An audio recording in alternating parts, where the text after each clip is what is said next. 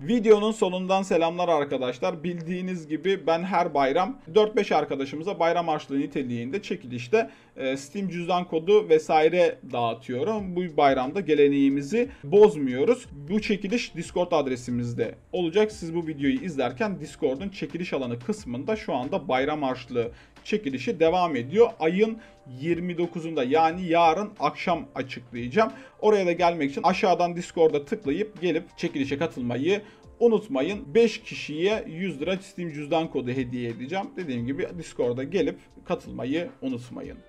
Herkese merhabalar arkadaşlar. Levia burada yepyeni bir videoyla karşınızdayım. Öncelikle hepinizin Kurban Bayramı'nı en içten dileklerimle kutlarım. Umarım ailenizle, sevdiklerinizle çok güzel bir bayram geçirirsiniz. Ben bugünü de es geçmek istemedim. Bugün iki video çıkarmayı planlıyorum. Öncelikle şimdi paperlardan bahsedeceğim. Ondan sonra da imza stickerlarından, daha doğrusu hem kapsülünden hem stickerından yani genel itibariyle hepsinden bahsedeceğim imzalarla alakalı. Onları tek bir videoda yapacağım. Çok fazla istediğinizi Biliyorum. Şimdi başta söylediğim gibi bugün paperlardan daha doğrusu bu videoda paperlardan bahsedeceğim. Almalı mısınız? Ne kadar almalısınız? Önceki paperlar nasıl bir performans göstermiş? Onların hepsini beraber kontrol edeceğiz. Eğer ki kanala abone olduysanız, videoya da like bıraktıysanız devam edelim. Size Skins Monkey'den bahsetmek istiyorum. Skins Monkey CSGO skinlerinizi güvenle takaslayabileceğiniz bir adres. Aynı zamanda Levia kodunu kullanarak da 5 dolar bonus kazanabilirsiniz ilk trade'inize özel olarak. Eğer ki nakit olarak balans yüklemek isterseniz de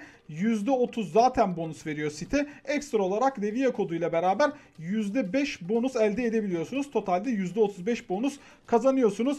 Skills Monkey günlük, haftalık, aylık olarak da sürekli çekilişler yapan bir site. Çekilişlere de katılabilir ve skinlerinizi güvenle takaslayabilirsiniz. Şimdi 2023 paper'lara bakmadan önce bir önceki yılın PGL Antwerp'in ve ondan önceki yılın PGL Stockholm'ün paper'larına bakmak istiyorum. Çünkü paper'lar aslında çok fazla pahalı olmayan, Glitter'ın hemen ardından gelen bir sticker. Çok fazla yapıştırması var. Mesela milyon yapıştırması olan bile var ama para kazandırıyor mu kısmına geldiğimiz zaman şimdi ben her zaman ne derim bilirsiniz.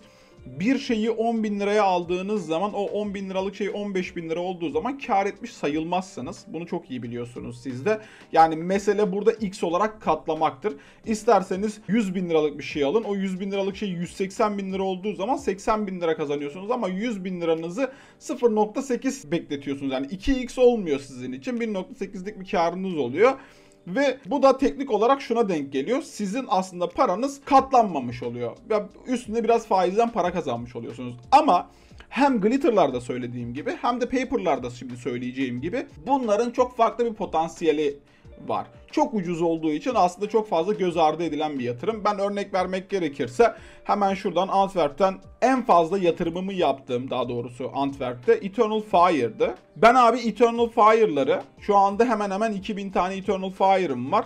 25 kuruştan falan toplamıştım. Unutmuyorum. Şu andaki dolar bazından hesaplandığı için şu anda böyle ama o dönemin parasıyla 25 kuruştan falan topladığımı çok iyi hatırlıyorum. Max fiyatına 9 lirayı gördü. Şu anda an itibariyle 2,5 lira 2.80 bandına satılıyor. 2.61'de bayı var. Yani 2.56'dan bile satsam 21 kuruş zararla 2.30 bir para geliyor ve ben 10x yaptım teknik olarak. Yani ben 2000 tane aldım ve şu anda yatırdığım parayı 10x olarak geri aldım. Şu anda birçok insan olacak işte abi ya 10x tamam da hani ne kadar kazanmış olabilirsin ki? Evet teknik olarak az bir para kazandım ama şunu kanıtlamış oldum. Benim aldığım fiyatın ben 10 katını geri alabilmişim. Mesele bu zaten. Yani ben 1000 tane aldım ve 10x yaptım. Yani 1000 tane aldım o zamanın parasıyla bana 250 liraya geldi. Ben o 250 liramı hem dolar karşısında bekletmedim hem dolar karşısında kar ettim. Hem de sayı bandında kar ettim ve paramı 10x yaptı 250 lirayı. Peki ben 250 değil de 25 bin liralık alsaydım ne olacaktı? O zaman 250 bin liram olacaktı. Yani ve şu anda en kötü dönemden bahsediyorum. Ya ben 9 lira olduğu dönemde satsaydım. Gerçi bunun kimse bu kadar kısa bir hype olacağını bilemezdi. Ama 9 liradan satmış olsaydım 36x yapmış olacaktım.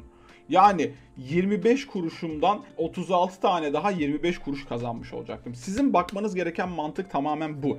Evet ben glitter öneriyorum. Holo yatırımı da çok mantıklı bir yatırım. Ama abi benim param az. Ya ben bir tane mouse glitter alacağım ama işte 10 tane mouse paper alsam ne olur? Olur. Niye olmasın? Mouse Glitter 80 liraya dayandığı zaman şu andaki fiyatı mesela 18-17 lira bandında 20 liradan hesap edersen 80 liraya dayandığında 4x yapmış oluyorsun. Ama şu anda 2,5 liraya alacağım bir paper işte önümüzdeki günlerde 25 lira olursa ki olma ihtimali çok yüksek mouse paper'ın. Buna örnek olarak şöyle PGL'i göstereyim size hemen hızlı bir şekilde. Şu anda 13 lira. Dolar bazında çıkış fiyatı 2,5 lira. Ki o zamanın parasıyla çok daha az. Yani 2 lira, 1,5 lira falan bulabiliyordun. Max fiyatlandırmada 112 lirayı görmüş. İyi dönemde bile satmış olsaydınız 20, 30, 40 o bantlarda satılmış ve şu an kendini 13 liralara sabitlemiş. Bu da Major'dan dolayı. %90 ihtimalle Major'dan sonra bu yine 40 lira bandını kesinlikle görecektir. O yüzden paperlardan herhangi bir korkunuz olmasın. Hiçbir major'ın hiçbir paper'ı kolay kolay zarar ettirmez. Özellikle de şu anda Paris'teyiz ve birçok yeni takım var. Size tek tek saymak isteyeceğim. Yani hangi paper'ları alabileceğinize dair. Benim kendi fikirlerim bu arada. Siz yine kendi fikirlerinizi göz ardı etmeyin. Kendiniz de dinlemeye çalışın tabii ki. Şimdi dediğim gibi Stockholm'de şu anda kontrol edersek en pahalısı Taylu. Çünkü Taylu'nun çok büyük bir hayran kitlesi var. Ve hem Entropik hem de Taylu ne Rio'da varlardı ne de Paris'te varlardı. Hatta 2022 Antwerp'te bile yok bunlar. O yüzden fiyatlarının biraz yüksek olması gayet normal. Şu anda şöyle bir kontrol edersek geri kalan kısımlarda hani çok düşük fiyatlarda kalan bir şey var mı diye kontrol edelim. Astralis 6 lira bandında kalmış. Navi 2.95. Yeni takımlardan Sharks 1.69. Big ki en fazla sevilen sticker'ı buydu. 1.78'de kalmış. En ucuz paper sticker'ı 35 kuruşta NIP olmuş. 35 kuruş. Okey tamam biz bunu biliyoruz. Peki ne bantta 35 kuruşta kalmış? Hemen onu da kontrol edelim. Satış fiyatı 18, 19, 20, 16 kuruşlarda gezmiş. Kendini çok da yukarıya taşıyamamış bir sticker. Max döneminde bile 1.60'ı görmüş. Ama teknik olarak şöyle düşünürseniz 16 kuruştan alsaydınız 1.65'te yine 10x görecektir. Hani meselemiz x. Teknik olarak şu anda eğer ki 16 kuruştan alsaydınız eğer ki kötü gün en iyi günde bile satmamışsanız şu anda satacaksanız 2x'iniz var. Ama yine de 2x yapılan bir paper'a girmenin hiçbir manası yok. Çıkalım Antwerp'e gidelim. Antwerp'in bildiğiniz gibi en pahalısı şu anda Cloud9. 6 lira 50 kuruştan. Hemen onun da döngüsünü takip edelim. Onun da döngüsü başlangıcı 9 lira, minimumda 67-68 kuruşu görmüş. Maksimumda yani hype döneminde 14 lira bandına kadar çıkmış. Yani 70 kuruşu almış olsaydınız 20x bir paranız olacaktı ve şu an 6 lira 7 lira bandında geziniyor. Bu da şu anlama geliyor. Eğer ki 70 kuruş bandında almış olsaydınız şu anda 10x bir karınız olacaktı. Yine 10x'teyiz fark ettiyseniz. İşte devamında işte Imperial var. Onun ardından da gelen 9Z, Eternal Fire vesaire vesaire Outsiders diye geliyor. Teknik olarak kar ediyorsun. Yani kuruştan aldığın sticker'dan lira olarak kar ediyorsun. Düşük bütçeliler için ne kadar iyi olduğunu anlatmaya çalışıyorum. Şimdi gelelim an olarak Paris'te ne kadar olduğuna fiyatların. Şimdi Blast TV 12 kuruş. Greyhound 13 kuruş. Bunlar 10 kuruşun altına düşer bu arada. 8 kuruş, 7 kuruş bandında gördüğünüz zaman Blast stoklanır. Badness Eagles stoklanır. Heroic stoklanır. Complexity stoklanır. Into the Breach stoklanır. Paying Gaming stoklanır. Face Clan stoklanır. Luxo stoklanır. Fanatic çok fazla stoklanır. Gamer Legion, G2 hepsi stoklanır. Yani o kadar iyi bir dönemdeyiz ki paperlar için yani şu kötü bu kötü demek çok yanlış bir durum olacak. Özellikle de Apex ve Fnatic için gerçekten iyi bir dönem. Monte'yi kaçırmayın. Monte muhtemelen 1.5 lira bandını görecektir Cuma günü ve Cumartesi günü ilk alınan kapsüller piyasaya düşmeye başladıktan sonra. Bunları takip etmeyi unutmayın en pahalı olan şu anda mouse sticker'ı, mouse'un paper sticker'ı. Peki bu alınır mı? Evet alınır. Örneğini şöyle göstereyim ben size. Eğer ki Cloudline Antwerp'e bakarsanız minimumda 60 kuruşu gördüğünü görürsünüz. Tamam mı? Minimumda 60 kuruşu gördüğünü görürsünüz. Başlangıç fiyatları 2.45, 1.80 sonra düşmeye devam etmiş. Yani kapsüller piyasaya düşmeye başladıktan sonra 1 liranın altını görmeye başlamış. Ondan sonra yukarıya taşmaya başlamış. Ama şöyle bir durum var ki mouse'da aynı şeyi yaşamayabiliriz tüm zamanlarda şöyle kontrol ederseniz 3 lira bandında gezinmeye devam etmiş. 5 lirayı görmüş çat 2.70'e geri dönmüş ama sonrasından 3 lira bandına geri çıkmış. Peki neden kolay kolay 3 lira altına düşmeyecek? Hemen onu da açıklayayım. Şuradan orderlara bakarsanız arkadaşlar 6000, 1200, 2000 ki bu arada da neredeyse 2000 tane var. 1600, 4000, 14000, 2000 yani 2,5 liranın altına düşene kadar o kadar fazla buy order var ki bu buy order'ları es geçip 2,5 liranın altına düşmesi imkansıza yakın. İmkansız demiyorum ama imkansıza yakın. Peki siz ne yapmalısınız? 3 liradan almalı mısınız? Şimdi zarar etmek çok farklı bir durum. Ama kardan zarar etmek çok daha farklı bir durum. Ben aldım. Ben neredeyse bir 60-70 tane aldım. Hangi fiyattan aldım? 2 lira 80 kuruştan aldım. Çünkü geleceği olan, potansiyeli olan bir sticker'ı 10 kuruş altına almak, 10 kuruş üstüne almak çok fark ettirmez. En azından benim için ve benim gibiler için fark etmeyebilir. Ama sizin için fark ediyorsa mouse'a girmezsiniz. İşte ne bileyim gider Monta alırsınız. İşte ne bileyim gider Nine alırsınız. Veya Into the Breach alırsınız. Fluxo alırsınız. Bunlar da size kar ettirecek şeyler. Çünkü dolar zaten günden güne artıyor. Bu arada doların artış kuruna gidip Google'a dolar TL yazmayın. 26.03 hafta sonu ve iş günü olmadığı için, borsa kapalı olduğu için öyle görünüyor. Ama gidip kriptoya bakarsanız kriptoda USDT'nin 26.80 bandında gezdiğini ve 27'ye dayandığını görürsünüz ve muhtemelen bayram sonrası dolar hemen hızlı bir şekilde 27.5 bandını görecektir ve Steam dolar kuru da güncellenecektir. Gerçi bu konu bizim Steam dolar kuruna herhangi bir bağlantımız yok. Bizim tamamen bütün bağlantımız ana parayla olacak. Yani gerçek dolar kuruyla olacak ve gerçek dolar kuru da bunları etkileyecek. Mouse almalı mısınız? Bence kesinlikle mouse almalısınız. Onun ardından Monte almalı mısınız? Kesinlikle almalısınız. Apex almalı mısınız? Evet. Navi almalı mısınız? Bu fiyatın 15, 20, 30 kuruş altına daha düşecektir. Evet almalısınız. Nine yine almanız gerekenler ardında. Gamer Legion evet. G2 evet. Bunları hangi fiyatlardan alacaksınız biliyor musunuz? 25 kuruş, 30 kuruş, 20 kuruş. Ya böyle alışveriş yaparsın tamam mı?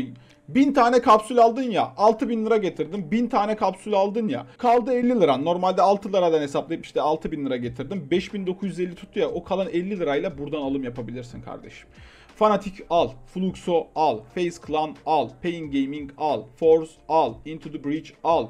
Furia çok gerek yok. Complexity olabilir. Vitality gerek yok. Heroic olabilir. Liquid olabilir. Mongoz gerek yok. NIP gerek yok. OG gerek yok. ENS gerek yok. Badness Eagles gerek yok. Greyhound gerek yok. Ama Blast'tan da 10 kuruşun altına düştüğü anda stoklamaya başlayın. Mesela PGL'inki şu an 23 kuruş. Kaç bandından 23 kuruş bandına çıkmış?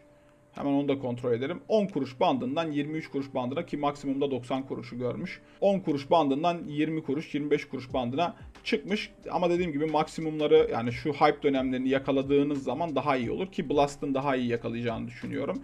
Hemen PGL'e bakalım. PGL'de 61 kuruşu görmüş. Peki ne banttan 61 kuruşu görmüş? Yine o da 20 kuruş 15 kuruş bandından maksimumda 3 lirayı görmüş. Daha sonrasında 60 kuruş bandına sabitlenmiş ki bunların sabitlenme sebebi bu kadar düşmesinin sebebi tamamen Paris'in şu anda aktif olması.